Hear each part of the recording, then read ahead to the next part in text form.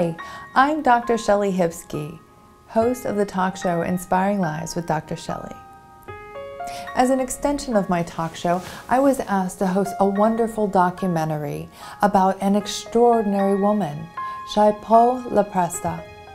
When I first met Xiaobo, I realized that she was one of these beacons of light in the universe that makes life brighter for all that she comes in contact with. What Xiaobo has that we can all learn from is her innate ability to love others, the importance of giving and receiving love. According to Xiaobo, this natural and beautiful feeling should be a part of our daily lives. Now, please enjoy Xiaobo's recipe for love.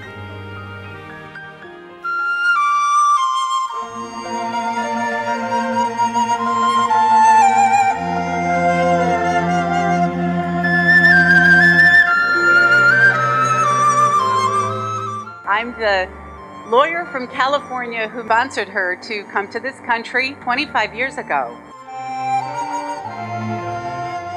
And I mean, it was a beautiful relationship. A lot of people say that they were from two different sides of the world, but somehow they brought us together and they had this perfect love that was great.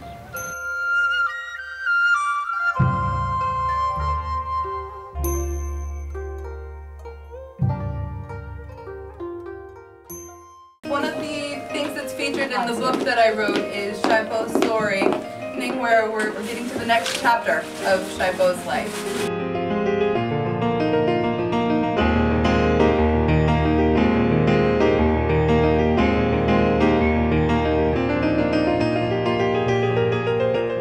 And I am so incredibly excited to have Xiaobo's book uh, featured in the Central Hall at the Shanghai Book Fair.